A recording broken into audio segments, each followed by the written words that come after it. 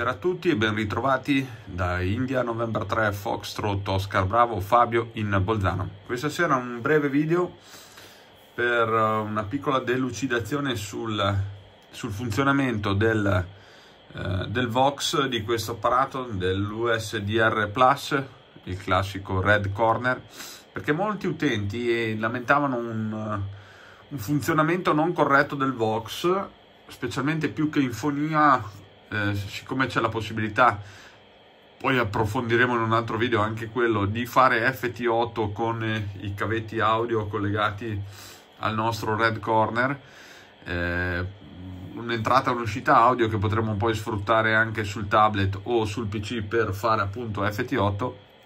Eh, collegando questi cavetti funzionava male il Vox, eh, anche in fonia, in fonia funziona male il Vox, eh, specialmente con il software eh, originale 1.02 e addirittura attivando il Vox eh, senza trasmettere nulla a volte va in blocco la radio in TX dovete spegnerla riavviarla perché non torna più in RX bene giocando un po' sul mio ho scoperto un pochettino come funziona la questione del Vox praticamente andiamo nel menu. Adesso vi do un classico esempio. Adesso il menu l'abbiamo qua se il Vox è 3.1 eccolo qua. Noi attiviamo il Vox e vi faccio vedere una cosa. A volte vedete va in blocco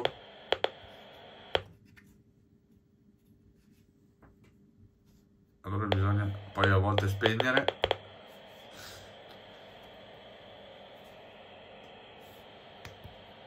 e appunto da questo malfunzionamento.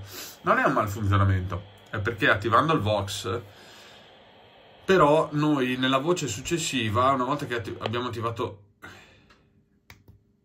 il Vox, adesso ecco, vi do il classico esempio, vedete che rimane acceso? Bisogna spegnere la radio. Ho scoperto che cos'è, praticamente questo Vox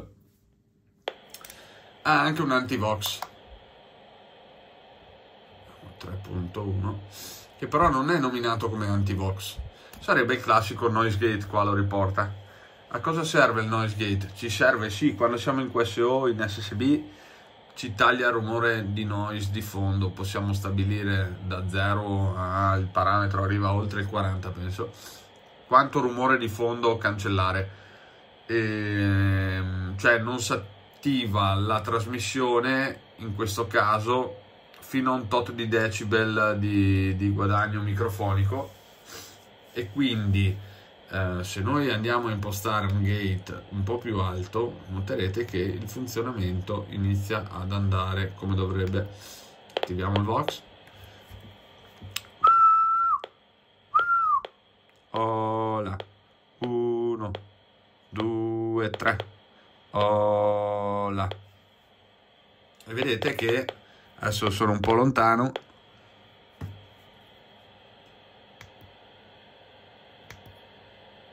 Ok così ancora più sensibile. 1 2 3 prova a test. Se invece lo andiamo ad aumentare io posso anche parlare forte e lui non mi ascolta più praticamente è il, la regolazione del guadagno ehm, anche per il Vox, è un, un anti-Vox diciamo, ed è questo che tarato giusto vi farà funzionare bene il vostro Vox. Se siete in un ambiente molto rumoroso e dovrete parlare ad alta voce, terrete, non so, un noise gate a 5, 6 e urlando a ola, va in trasmissione. Se invece siete in un ambiente molto silenzioso come sono io adesso, lo tenete a 1, la vedete che oh, la... funziona bene. Detto questo,